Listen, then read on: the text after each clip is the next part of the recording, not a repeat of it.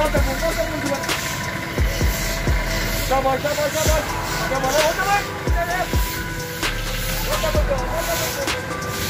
ये दिन ब दिन ये कोविड पेशेंट बढ़ते जा रहे हैं, हमने सोचा आज हम, हमको पूरा इलाका करना है सैनिटाइज पूरा। क्लीनेस भी करने हैं फुटपाथ भी करने हैं, गली कोचे भी करने हैं, हमने मुहिम छेड़ दी है। हम पूरा करेंगे ये। हमारे बंदे भी हैं, काम पर होते हैं बेचारे, सुबह के शाम तक ऑन द टो होते हैं ये। हाँ मेरे इलाके में मुहिम चल रही है। हम यहाँ, हमारी गाड़ी भी है यहाँ पे वाटर गाड़ी भी है। हम सैनिटाइजेशन फूमिकेशन भी कर रहे हैं और वाटर क्लीनिंग भी कर रहे हैं पूरा दोनों पटरों को। पूरा फुटपाथ पे।